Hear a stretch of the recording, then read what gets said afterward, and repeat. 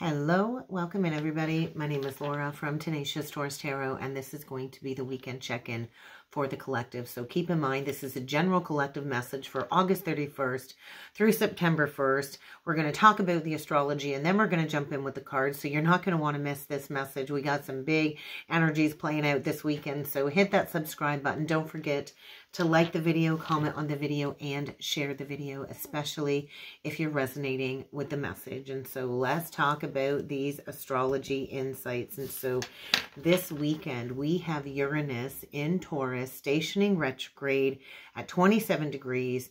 We have Pluto leaving Aquarius and dipping back into Capricorn this weekend. And we're going to have the moon entering into Virgo, and we are prepping all of these energies for the new moon on Monday. And so there's this need to calm the nervous system, the nervous Uranus energy that's coming in. And so retrogrades are all about a deep internal process. And so this energy really is asking you to go within. How can you go within? How can you use, use your abilities in harmony with your external environment? And so how can you be a help to others? Virgo is the sign of service. And so these retrogrades are saying, hey, it's time to help out. It's time to assist. And so we have uh, Venus that just entered into Libra. And so this is all about helping to assist the calming energy. And so we all have the potential to transform all of our specialized gifts into a drive towards reaching a specific goal. And so you might have to face some legal difficulties. Uh, you might have to close a, a very important soul contract when it comes to some karmic lessons.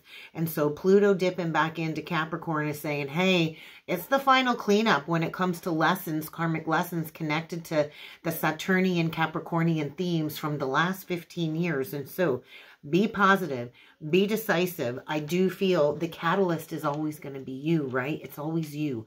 You are your own biggest catalyst. You get to decide how you will use your raw potential, how you will use your free will. And so right now we're in this major testing phase especially with Saturn and Pisces retrograde. This is all about spiritual discipline and spiritual testing. And so it's this weighing energy and this analyzing energy in order to bring about a specific balance in your life. And so I do feel there's hidden forces here that are being activated for many on the awakening path that agreed to awaken and assist humanity at this time for the Great Awakening. And so allow the subconscious to surface.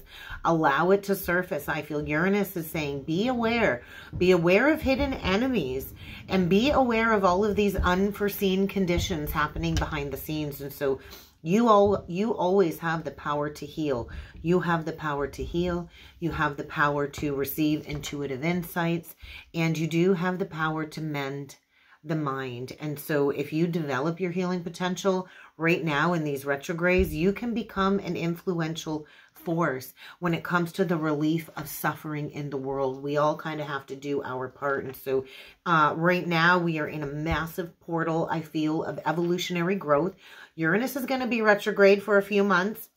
And this is where we go through this spiritual development. It's definitely underway. And so what we think and what we do all day will affect our reality. It will influence the collective consciousness. And so spiritual unfoldment doesn't happen all at once. Definitely doesn't happen all at once, although my kundalini was activated all at once. But spiritual unfoldment is always a progress. It's always a process. It takes time. Things take time. And so we have to embrace uh, these energies. We have to embrace the descent, the fall, in order to rise like the phoenix, phoenix into these higher planes of existence is what I journaled. And so it's always, always, always darkest before the dawn. And so if things th if things feel dark, if there's a lot of chaos and conflict in your life, Uranus going retrograde might bring some type of tower, but this is going to lead to a brand new start. And so there's always going to be obstacles to face. There's always going to be challenges. It doesn't matter how grounded you are, how spiritual, how spiritual you are, or how far along the journey you are, there's always going to be obstacles. And so uh, right now, I feel the obstacles are likely going to be overcome and this final cleanup is kind of underway. And so keep positive faith, keep, keep positive faith in your abilities. The key word right now is regeneration. And so when we renew our bodies and we renew our minds, then we can bring light to life. And so right now there's a lot of great divine power being activated within the collective. And yes, we have to adjust our lives through taking right actions not only with our thoughts, but with right actions. And so all of our energy, if you think about all of the energy we source, comes from the sun. It does come from the light of the sun. And so we have to kind of turn this energy that we absorb from the sun and we need to radiate the energy that we receive and hence let your light shine let your light shine and so right now i feel the retrograde energies are asking us to rest to reflect to retreat and to conclude, to conclude a valuable lesson. And so this retrograde phase, throat chakra energy, requires, I feel, great concentration. It's going to require concentration. It's going to require meditation.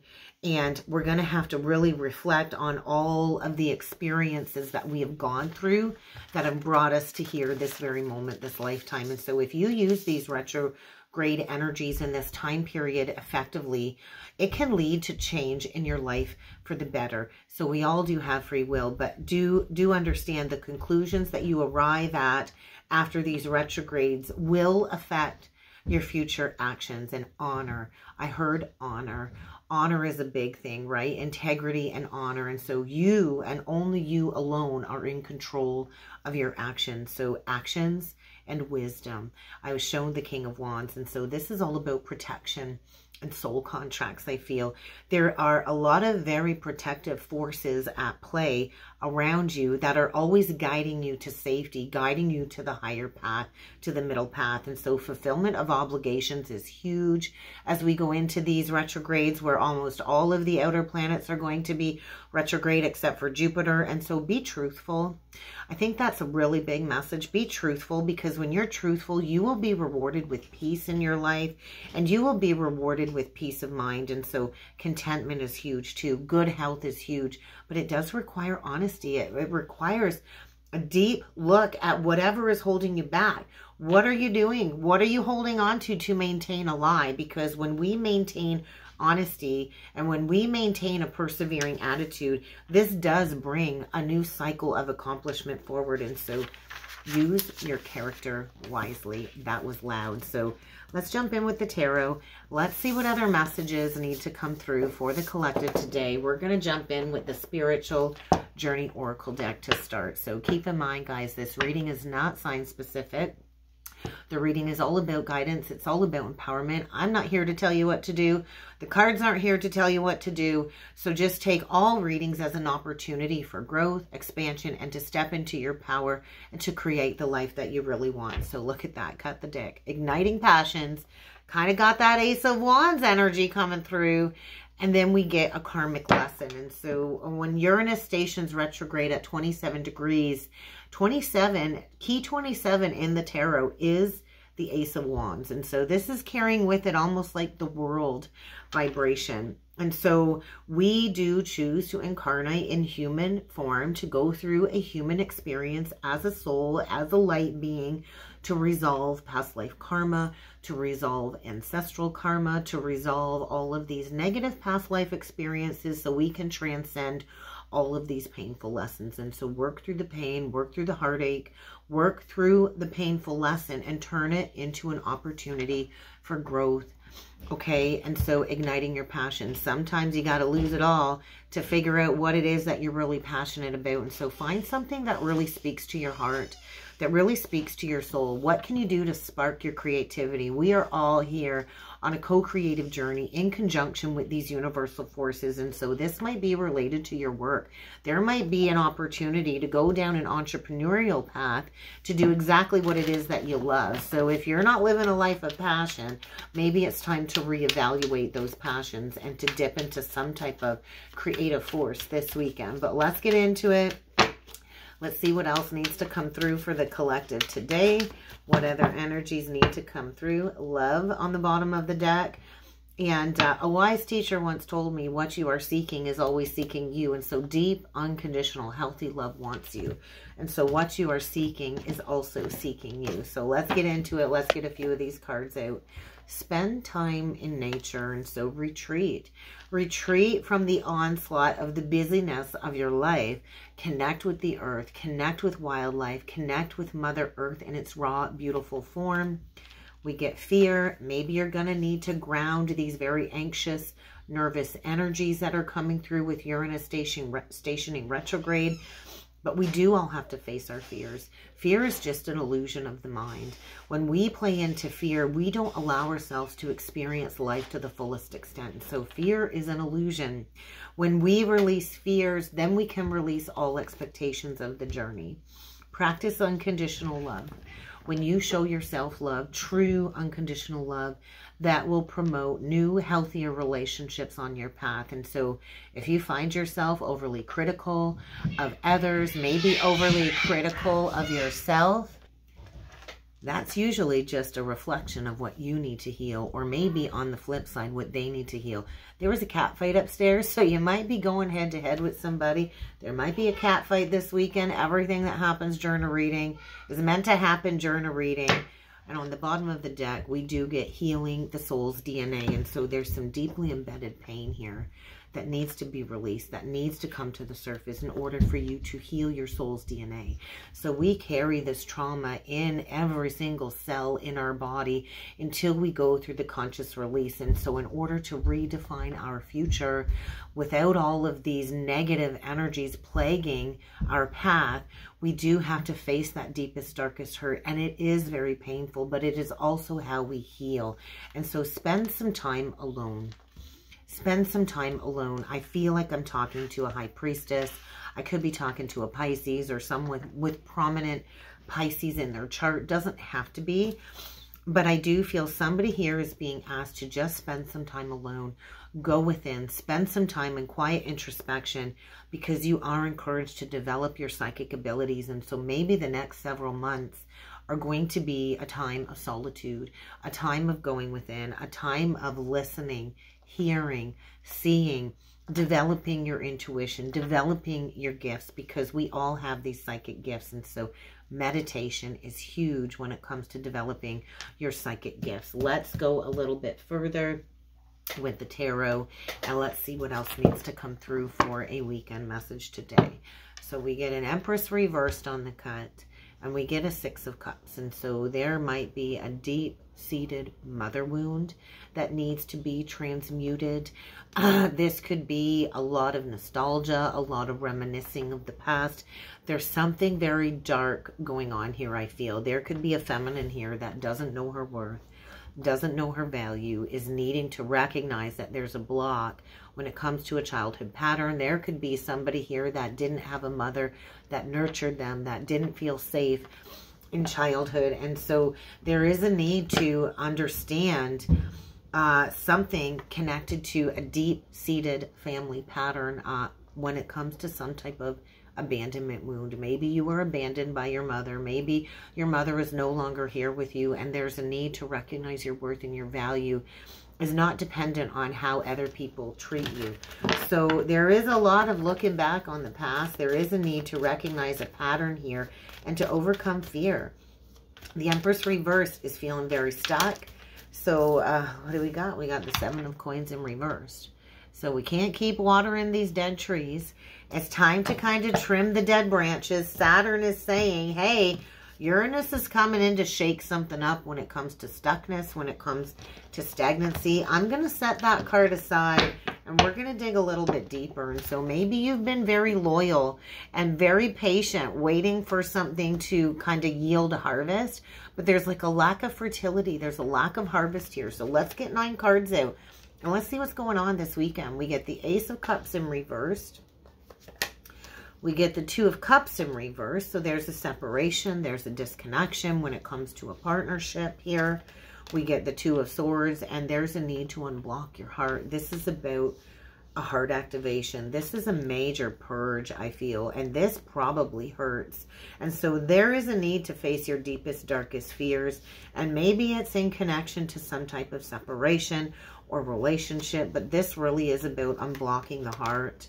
We get the Knight of Coins, Virgo energy. We get the Magician in reverse, more Virgo energy, Gemini energy, and we get the Five of Swords in reverse. So there is a need to see a situation clearly. There is a need to heal, I feel, from a past heartbreak because we kind of got a Three of Swords in reversed here. So don't kid yourself. Uh, you can you can move on. But if you don't process the negative emotions attached to endings, those endings will come back to haunt you. And so there's something about the past, I feel, coming back to haunt you. Yeah, something about the past. Maybe you're dealing with somebody that, that snuck away from you, or maybe you thought you could sneak away and not have to deal with this heartbreak. But uh, this is an opening. I feel like an opening of a new cycle. There's that palace of coins.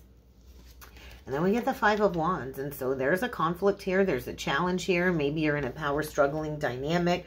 We got a couple of fives. And so it's kind of time to face these challenges. It is about the heart. Something between the head and the heart. And so do not deceive yourself, okay? Bottom of the deck, we get the Eight of Coins. And so below the Eight of Coins, we get the Ace of Swords. And then we get the Two of Wands. And so there's a big decision here that needs to be made. There is a need to close out a major karmic lesson, a karmic cycle. And there's that justice energy. And so something about Venus just entering into Libra, it is bringing in a calming sense here. And so there's definitely a need to um, look back at a recent loss. So the Ace of Cups, the Two of Cups, the Two of Swords, Twos are all about decisions. Twos are all about crossroads choices and the consequences of those choices. And so I do feel there's a need to heal from a past separation, a past heartbreak. And somebody here really thought that they could move on without shedding their old ways. And what goes around always does come back around. And so somebody's been in some type of denial about a situation, about an ending here. And uh, you're going to have to go back. You're going to have to look at this. You're going to have to deal with this um, if you want that abundance, if you want that new creative drive, that new creative start, we can create our own reality, yes. But we do have to overcome this um, this very stuck energy of being at war within yourself. And so somebody here, I feel, is in the battle within. And I do feel Saturn is saying, hey, you can't ignore the matters of the heart here. And so somebody here could be so laser focused on work. That's what they're using to avoid the truth. But honestly, somebody's stuck in some type of imprisonment. And so this is about honesty. This is about integrity. This is about getting real. And so I feel somebody's bubble is about to be burst because a major decision does need to be made here. And so somebody's at the divine why. And I do feel action is going to need to be taken, likely by that eclipse energy mid-September. So uh, what is it that you need to accomplish when it comes to completing a lesson? You could be dealing with one of the fixed signs you could be one of the fixed signs, Taurus, Scorpio, Aquarius, or Leo. But there is some type of karmic rebalancing going on here. And so things aren't turning out the way you want them to turn out. They're turning out exactly according to divine law, to divine will. And so there's a delay when it comes to a new beginning here. So let's clarify this magician reverse. This magician reverse it could be a pathological liar or where have you continued to lie to yourself. The magician reverse to me is saying there's a trickster here that, that can no longer trick people because the truth is coming to light. And so we get the Ten of Cups, Pisces energy. We get the Six of Coins and we get the Nine of Wands. And so this is about don't deceive yourself. There is some type of block when it comes to childhood that keeps manifesting as a sense of lack I feel a lack of consciousness. There could have been a huge missed opportunity here. The way I placed the cards, I kind of placed it up here on that Seven of Pentacles in reversed. And so there is a need to balance a past situation out for sure. I think somebody thought they could go plant a seed somewhere else, build a foundation somewhere else without actually having to deal with a past heartbreak. And let me tell you, you can't bring the baggage from the past into that next relationship cycle because it's going to haunt you if you haven't dealt with it. And so somebody here is in some type of fantasy or illusion And I think they've used that as a band-aid to cover up a wound. And so there's a need to go back and balance some scales here. Taurus, Libra energy. This is definitely connected to Venus and Libra. And so we got to balance it out. And maybe there's been blocked communication. Maybe there's been blocked communication for the last eight months. This could be completing an eight-year cycle, but you're going to have to find your drive and your determination to go forward.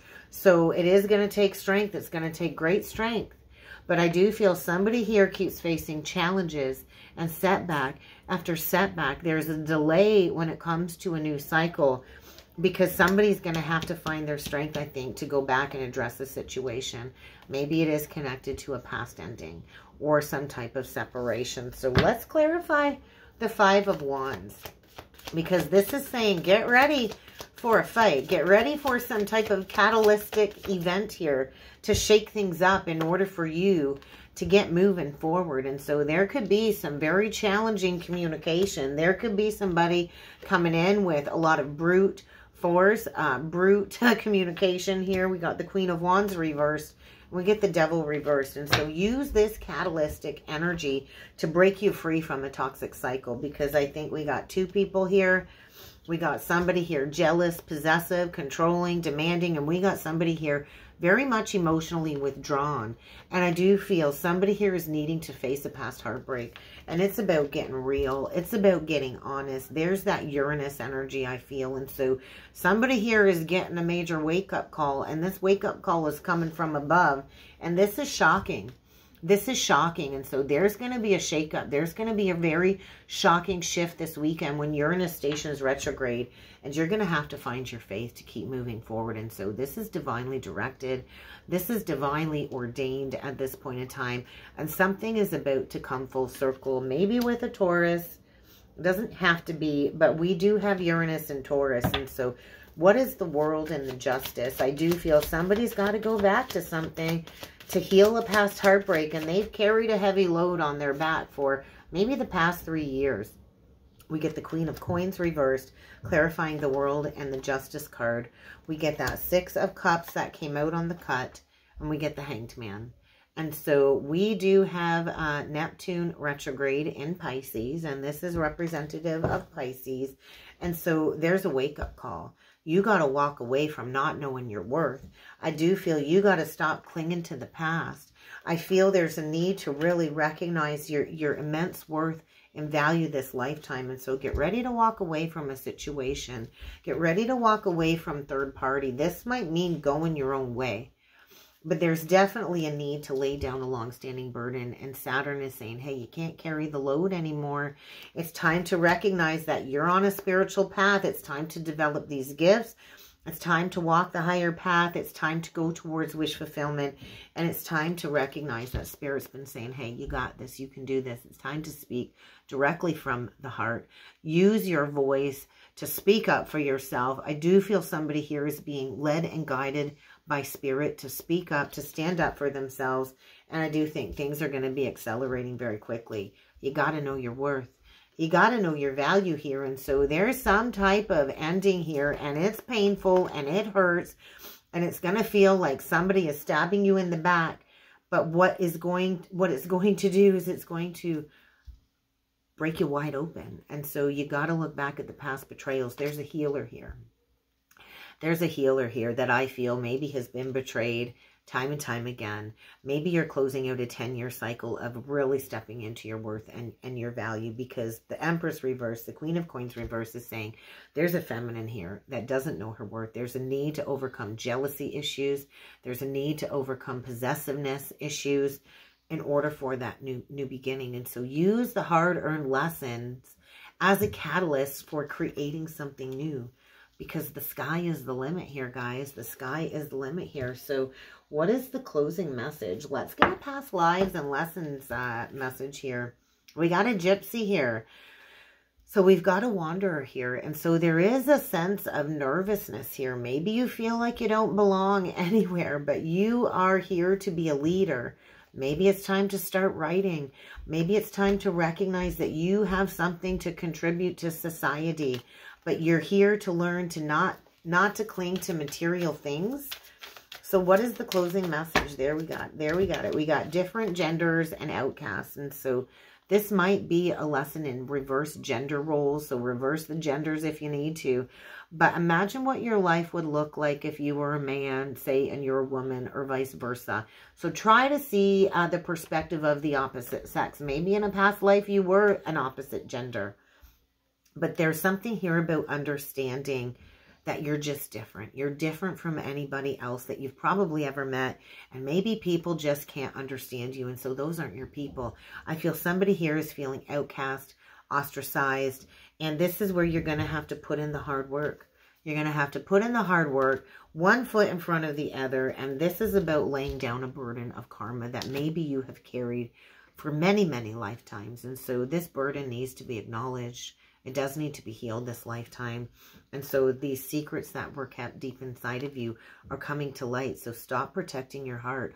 Open up your heart and face the challenge of this abandonment wound because I do feel when you overcome feelings of aloneness and unwantedness, then you are basically on the path and you're grounded in a state of wholeness. And so Recognize the limiting conditions around you and recognize what it is that you need to do to overcome them. So spend some time alone and develop those intuitive gifts because these energies are asking you to acknowledge what needs to be healed so you can move on. And so somebody here, I think, really needs to look back at a huge missed opportunity. Doesn't mean you have to go back to that person, but you do have to release the energy attached to a past ending that probably wasn't processed. And that's what I've got for a message today. If you would like to book a more personalized reading, please feel free to check out the description box below. And I do look forward to seeing you all again next time.